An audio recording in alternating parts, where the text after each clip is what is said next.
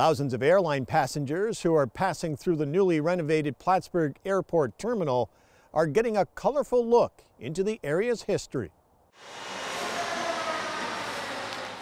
While work crews finish up the airport's $50 million construction project, local artist Bucky Seiden and several volunteers have created this huge mural made of ceramic tiles that tells the story of Plattsburgh's military history from 1814 to today. It was originally supposed to be a four by six. but as we started researching, there was no way that we could really illustrate all of the history, you know, from 1800 on in a four by six with really doing it some justice and wanting to show some of the commerce and agriculture and activities that uh, take place in our area. So it just grew and grew and grew and grew. And this is what we ended up with. It's about 16, I, I guess about 16 feet now from six and um, eight feet from four.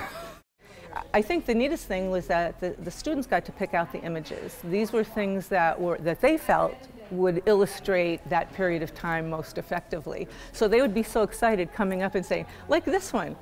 They just wanted to show, you know, they don't have heads or the rest of their body on, but this they thought, wow, look at how, because they used to march. So this really illustrates marching, you know? So it was like, can we just do that? And I said, of course. And it really is effective, you know? I mean, they didn't need their bodies from here up. And um, the squadron patches, after, um, after these um, tiles all went into storage because the expansion was expanding, um, I contacted the, the vets in the area and made it available to them to come in and um, either bring samples of their squadron patches or to make them themselves. And so quite a few came and, um, and made them.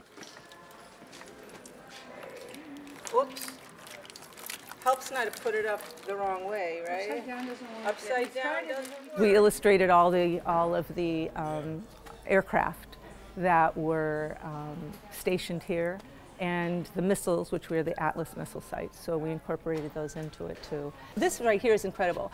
Um, one of the girls did the entire Battle of Plattsburgh, and it's this is the land battle, and she did the, the um, naval battle. So, I mean, these kids were really dedicated to, you know, illustrating all these things in history. It took a lot of time for them. The ceramic tiles were created by about 100 students at Chazy Central Rural School who researched the history of the Army and Air Force bases over two centuries. Images showing the old stone barracks, Army training camp, and the many military aircraft stationed at the air base were carved out of clay and painted with bright colors and glazes to bring them to life.